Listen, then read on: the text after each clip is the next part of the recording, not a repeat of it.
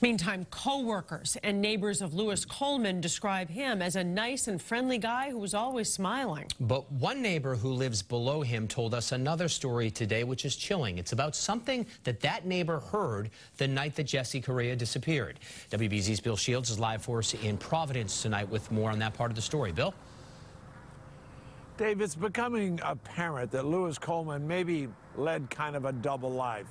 By daytime, a systems engineer for Raytheon. Nighttime, he went to the clubs a lot. And some of the people at his apartment building here in Providence, they knew full well about that nightlife. I live right there. Right, yeah. And we heard helicopters overhead. And my wife and I were saying, why don't they go away? What is all that?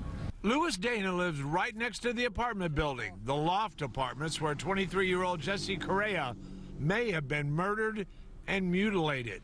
These days, nothing surprises you. When Delaware police stopped Louis Coleman yesterday afternoon, they found Jassy Correia's remains in the trunk, apparently in two suitcases. Coleman was charged with being a fugitive wanted for murder and mutilation of a human body. He's a nice guy. He, but who knows now? Now, nowadays, you don't know. His name is Joey, and he lives in the loft apartment directly beneath Louis Coleman. And he says Coleman often came home late and loud. Joey also said Coleman woke him up early Thursday morning.